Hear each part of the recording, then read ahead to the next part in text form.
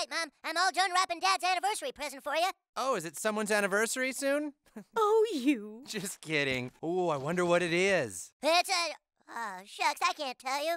But it's really nifty. Well, it looks like we're gonna have to do something extra special for Mommy and Daddy's anniversary this year. How about on Saturday we all go have dinner at Bennigan's? Bennigan's? Oh, boy, you mean it? Whoopee! At Bennigan's, I'm gonna get the ranch hand baby back ribs. Calm down there, cowboy. You've still got four days. Four days? Oh, I don't know how I'm gonna wait that long.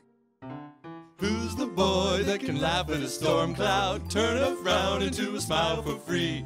Who's the kid with a heart full of magic? Everyone knows it's Butters. That's me. Who's the boy with eyes full of wonder who thinks being yourself is the best thing to be? Who's that rascal with the tweezers in his pocket? Everyone knows it's Butters. That's me. Jumping in puddles, skipping down the hallway, petting goats at the petting zoo. He loves John Elway. Who's No that tyke with the cutest little dimples, batting his eyes at every puppy he sees? If you look inside yourself, you might be surprised when you find a little boy named Butters. Well, that's, that's me. Yeah.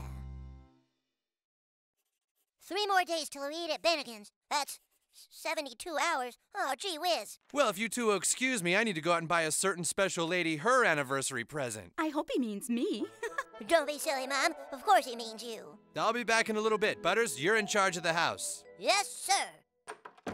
oh, I wonder what he's going to get me this year. We won't know till we're at Bennigan's. Every year it's the same. Your father gets me some great gift, and my gift to him falls short. I've just got to outdo him this year. I've just got to. Dad's a good shopper, all right. Butters, maybe you could secretly follow your dad and see what he's getting me. You mean spy on him?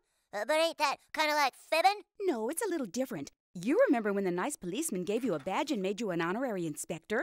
Sure I do. Why, I think Inspector Butters could find out what Daddy's getting Mommy without him ever knowing. What do you say? Inspector Butters is on the case, ma'am. Everyone knows it's Butters. Well, that's me.